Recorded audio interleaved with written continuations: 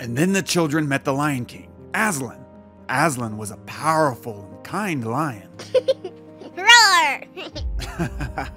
yes, he roared just like that. Natalie was moved to see this side of Bryce. She had never imagined him connecting with Liam, and she felt a happiness in her heart that she had never experienced before. More, more! Should we continue tomorrow, Liam?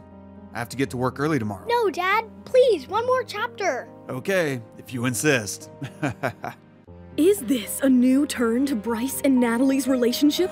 What does the future hold for them?